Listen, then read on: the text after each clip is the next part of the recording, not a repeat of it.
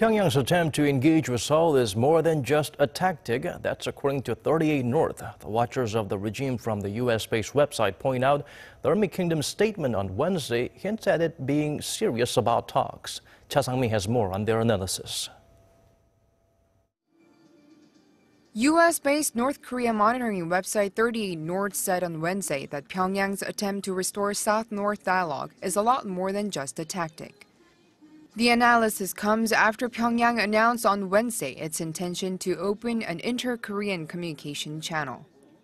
Robert Carlin, former chief of the Northeast Asia Division at the U.S. State Department's Bureau of Intelligence and Research, wrote that Pyongyang's so-called initiative to potentially reopen South-North dialogue is about more than just attempting to draw Seoul away from Washington. Carlin gave nine reasons why Pyongyang's move is a serious one. He first talked about the messenger of the statement, who wasn't just a spokesman, but the chairman of North Korea's Committee for Peaceful Reunification, which Carlin suggested added weight to the message. Moreover, that the announcement was delivered upon authorization of Kim Jong-un shows that the leader has publicly authorized the statement.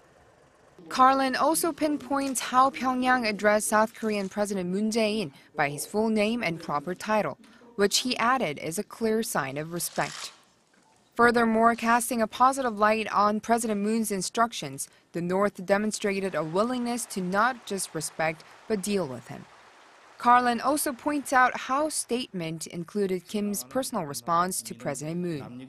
Kim's personal instructions to promptly carry out, quote, substantial measures with the South Korean authorities out of a sincere stand and honest attitude is another sign of opening up. And Kim mentioning the dispatch of a North Korean delegation to the 2018 Pyeongchang Winter Olympics as the first meaningful and good step towards inter-Korean relations suggests there could be more. Carlin casts light on the overall positive vibe of the announcement, as well as the unusual proposal Kim Jong-un had made in his New Year's address. 차상미, 아리랑 뉴스.